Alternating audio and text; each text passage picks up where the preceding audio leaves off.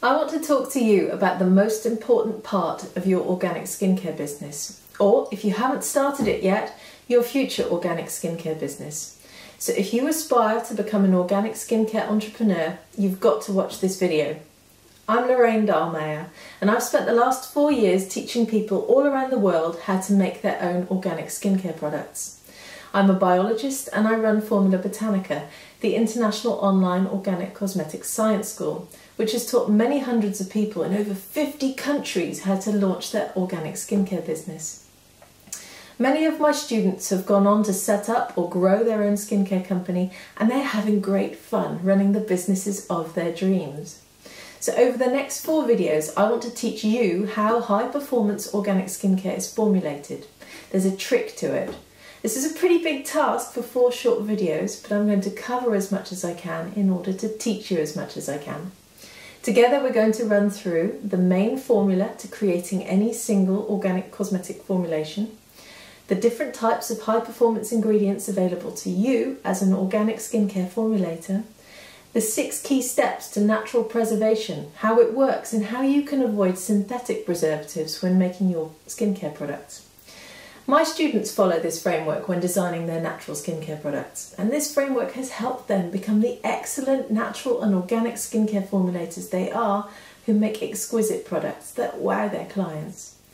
They have used this knowledge to become expert formulators, not just following recipes like everyone else, but instead learning how to methodically test and retest their ideas and their designs in order to perfect their skincare products. And their skincare products are awesome. Don't just listen to me, look at the results. Some of them have won awards or had celebrity endorsements or been featured in major glossy magazines around the world. Their results speak for themselves. And they have used this to build real businesses. Many of them started small and only launched with two or three simple products, but those have been the very best designs they could be, and they've attracted loyal followers who buy their products again and again and again. But before we get started with my masterclass, I've got to warn you. You might have been making skincare potions for a while already, following recipes in order to make your final product. Well, I regularly see poorly designed skincare products out there where people have blindly copied recipes that they've learnt on the internet and they haven't taken into account how their products are designed, how they deliver the therapeutic benefits that they say they will, or even how they make sure that their customers aren't rubbing lots of microbes all over their face because they're inadequately preserved. And that's a real risk when you're starting out. You find a website that says, hey, here's a fun way how to make lotion. You try it out, it seems to work, or so you think anyway, and you give a few samples to your friends and they love it too. But what you don't realise is that you're setting yourself up for disaster because you haven't made sure that your formulation is stable, safe, and actually does what it says it's supposed to do. But thankfully, there's a solution, and I'm going to teach you it in these videos. But I'm going to go further than that because in this video series, I'm going to teach you the basics of making high performance organic skincare that is safe for the skin. You'll see in just a minute. I want to show you how to make high performance, safe, organic skincare that can make the difference for your future career as a skincare entrepreneur. I want to show you how to make products that will build you a real business which can give you the income you need to have the freedom and the flexibility that you want. So in this video, we're going to cover the formula for putting together any natural skincare formulation.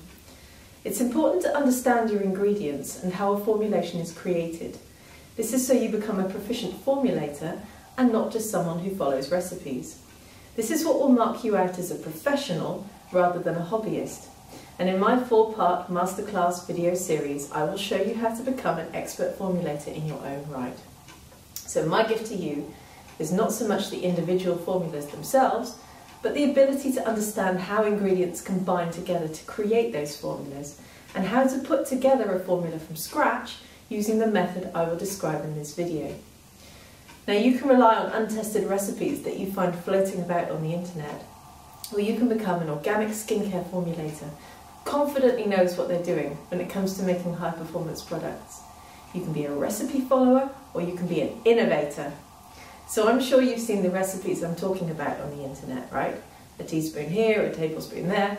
Well, we're going to do the opposite of that, and we're going to think about the actual structure of your formulation first and foremost. So let's start by breaking down a natural cosmetic formulation and looking at the six key elements that form part of most skincare products. The first one of those is your foundation ingredients.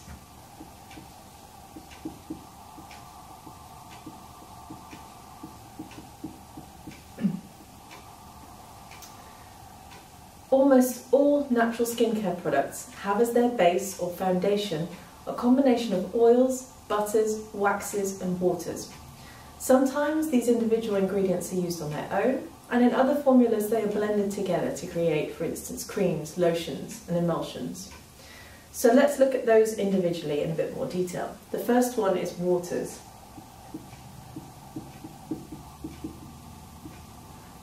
Waters include hydrosols, flower waters, or distillates, herbal infusions, and even distilled water itself.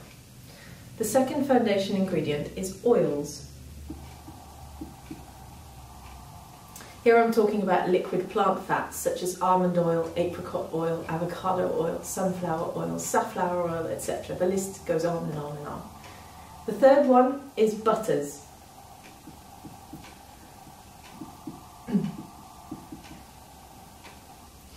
These are saturated plant fats such as cocoa butter, shea butter, mango butter, coconut oil, etc. Again, there's a, a lot of them you can uh, utilise.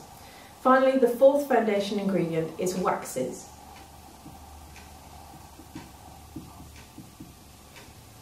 In cosmetics, these typically include beeswax or candelilla wax, which is the vegan alternative to beeswax.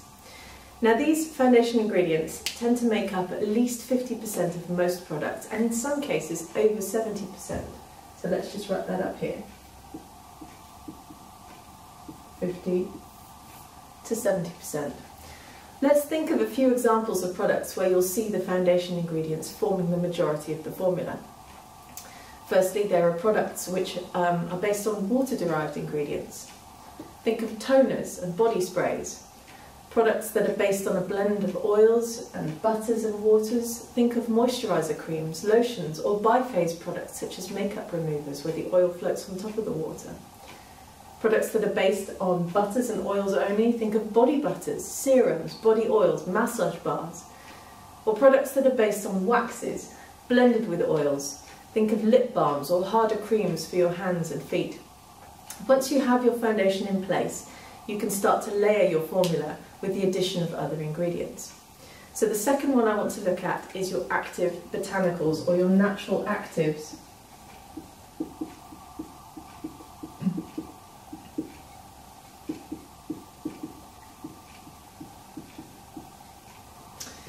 These active botanicals are your therapeutic plant extracts that are added to your product to give it additional skin healing value over and above the foundation ingredients. Active botanicals are usually of herbal origin, but can be in a variety of formats such as powdered herbs, tinctures, extracts and macerations. They typically don't form more than 1 to 10% of your finished product.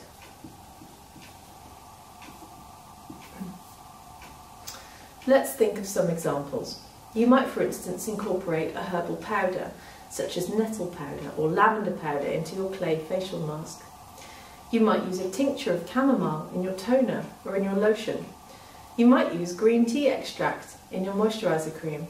You might make a macerated oil with calendula or marigold petals for use in your serum. You might create an extract of lemon balm in glycerin for use in your makeup remover. As you can see, the list is pretty much endless, and these active botanicals can give your product a real edge by generating additional plant-derived benefits. So the third category I want to look at is your functional ingredients.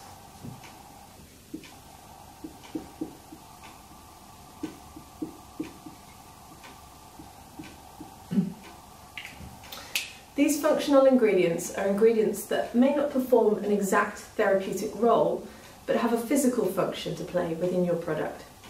The function may be to do with the formula itself. An example, for instance, would be an emulsifier, which binds the oil and water parts of your lotion together, or a humectant, such as glycerin, which draws moisture to the skin, or an exfoliator such as coconut sugar, which acts to scrub away dead skin cells in a facial polish. These functional ingredients typically don't form more than 5 to 10% of your finished product.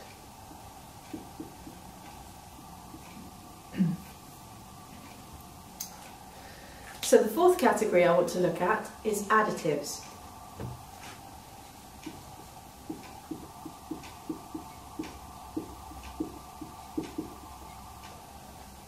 Additives are related to functional ingredients, but are deemed to be an added extra, such as colouring, or sometimes they're a necessity.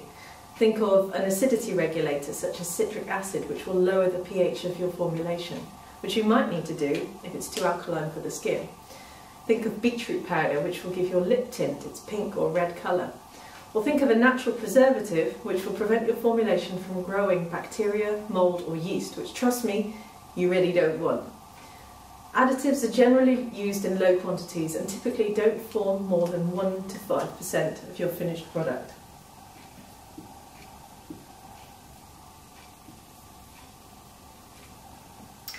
So the fifth category I want to look at is your aromaceutical or your aroma category.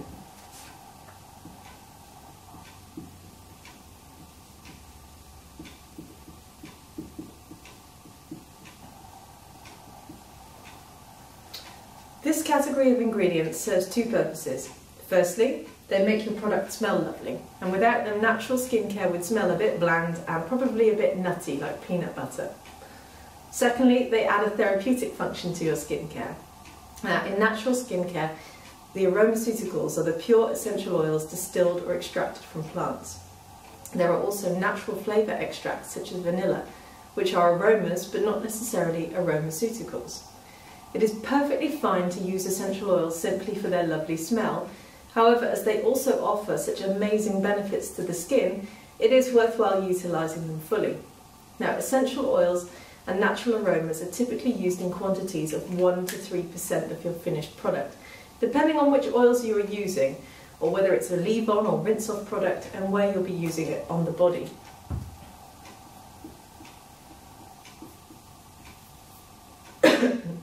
Finally, the last category, your extras to make your product look visually appealing and attractive, your aesthetic flourishes.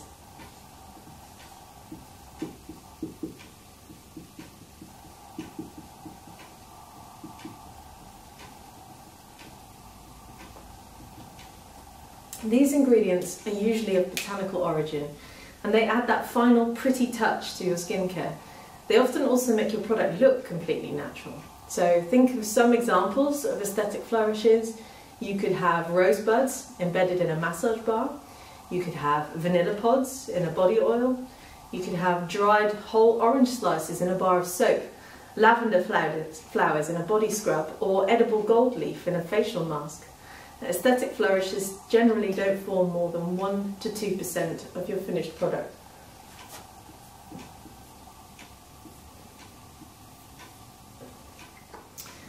So there you have it. All of a sudden you can start to see the formula behind each skincare product and it doesn't seem quite so daunting when you break it down like this. This compartmentalising approach gives you an easy way to start the formulation process, but just remember it is by no means set in stone. There are blurred boundaries between the different ingredient types and some ingredients can easily fit into two or even three of the categories we just looked at. What this approach does do is that it gives you a clear formula to start creating skincare products from scratch, as it makes it simpler to sketch out rough ideas for a new product. This method takes the headache out of skincare design work. I hope this breakdown was helpful to you and will help you look at your formulations in a new, more structured way. Understanding how the ingredients in your formulations fit together is key to creating top quality skincare products. But just being able to design a formula isn't enough. If you want to attract and keep a loyal following for your skincare business, your products need to have real results.